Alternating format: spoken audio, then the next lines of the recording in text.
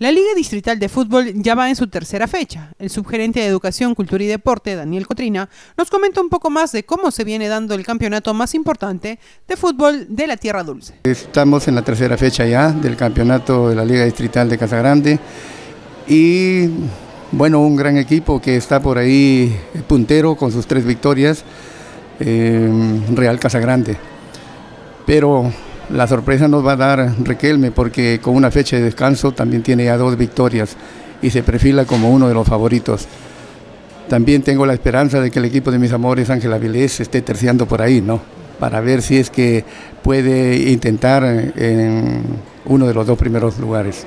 Asimismo, el profesor Cotrina comenta la exoneración del pago por el uso de las instalaciones del estadio a cambio de la limpieza de este, ello para apoyar a los equipos por parte del alcalde Francisco Fernández Gallardo. Aquí en la municipalidad de Casagrande eh, hay una alta sensibilidad de parte del conductor, el ingeniero Francisco Fernández, y se exoneró a la Liga Distrital de Casagrande en el pago de que era de 160 soles con 80 centavos, ¿no? Con la intención de que ellos colaboren en mantener limpias las instalaciones deportivas.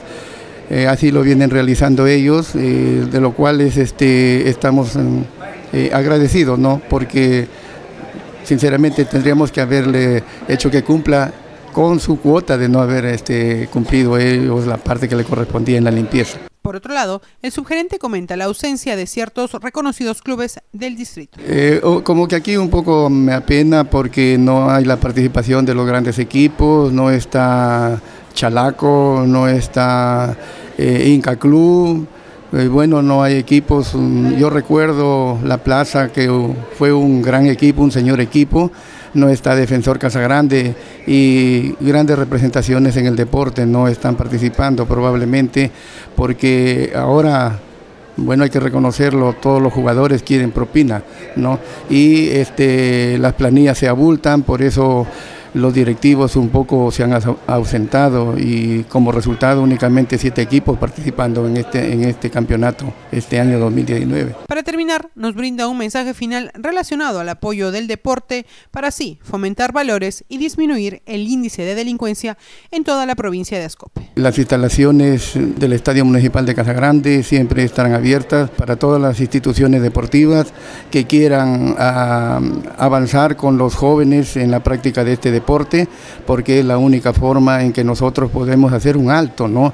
Eh, un atajo, eh, que me disculpen la expresión, al desenfreno propio de la, de la juventud, ¿no? Eh, cuando tienen el tiempo demasiado libre.